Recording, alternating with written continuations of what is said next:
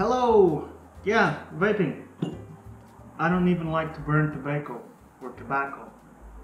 So it's no wonder I don't like to burn fuel as well. Welcome to another video. Um, we're today doing the battery case for our electric motorcycle. So um, we have the batteries in place in, um, uh, and they're all packed nice and neatly. Uh, but now we need an outer shell to protect our batteries and obviously uh, to look better. Well, personally, I think it looks better with the lovely juicy cells of LiFePO 4 uh, showing and, and then, but yeah, but nobody likes it except for me. So yeah, I'm doing it in case. Uh, okay, so we're, I, I made a template um, and of, of uh, regular old uh, stiff paper. I guess there's a technical name for this. I don't know what the name is in English, so if you know, hit me up in the comments so I can learn as I go and so I can improve my English as, as I'm doing this. Um, and then we are going to use the template to cut um, this material is a polystyrene um, um, stiff but very light and very resistant uh, material. You can buy those at, I guess, in the States, Home Depot. In uh, in Europe, you can buy them in Leroy Merlin, I think. I don't know. Well, it's pretty easy to find in any general uh, store. So yeah, let's get to it. We're going to cut the parts out of that material. Uh, we are going to stick them together um, in the form of our battery pack and then we are going to wrap it all uh, nice and neat in carbon fiber uh, vinyl uh, wrapping paper solution thingy. I really need to work on my English. So stay tuned. Um, okay, this uh, next bit will be uh, time lapse and it will be, as always, 20 seconds. So here we go.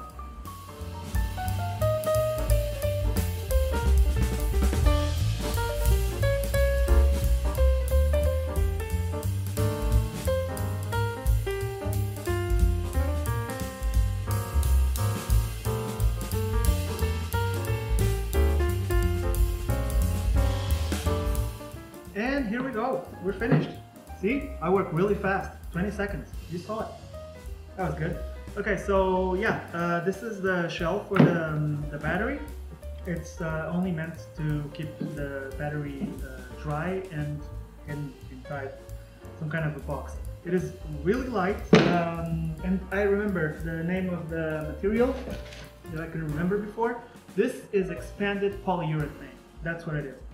Um, I really like to work with this material for stuff like this because it is extremely light, it is water resistant, it is non-conductive, it's extremely tough to bend, and best of all, you can simply cut it with any regular old knife.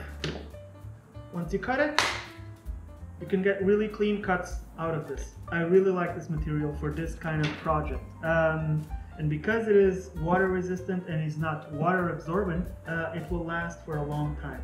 Of course, it does not provide the same level of protection that an all steel or all aluminium, yes I said aluminium and not aluminum, it's aluminium guys, um, would uh, protect. So yeah, this is not as, it's not meant as a super tough battery protection case.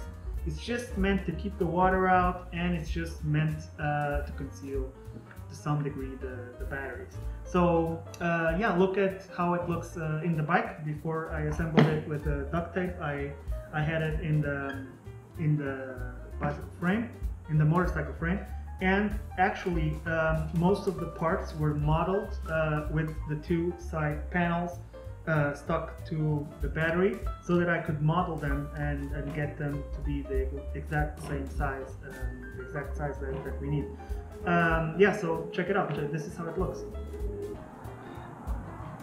So yeah, this is how it looks when it's in the bike. It's all held up by uh, duct tape, not duct tape, uh, by tape, regular uh, tape.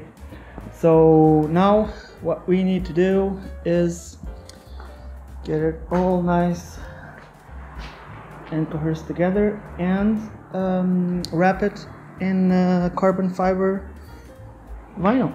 Yeah. So I think it looks pretty good, uh, mainly because it's not a fully square box. It's uh, it has the profile of the uh, motorcycle frame, um, so yeah, it looks uh, better than a square box of batteries. Uh, well, that's my opinion anyway. So now all we have left to do, actually two things. Uh, we need to wrap it up nice and easy, neatly in um, carbon fiber vinyl and afterwards we need to attach it to the motorcycle frame. So yeah, here comes another time lapse, um, and I will be able to do this uh, carbon fiber vinyl thingy, paper Louis thingy, uh, pretty fast because I work really really fast. It will take 20 seconds, starting now.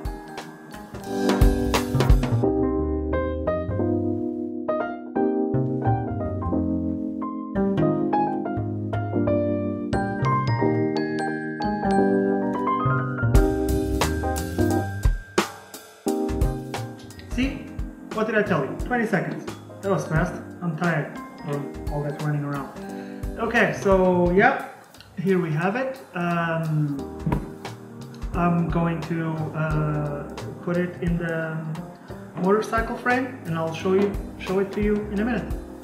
Right now is only hold there uh, with a little bit of duct tape.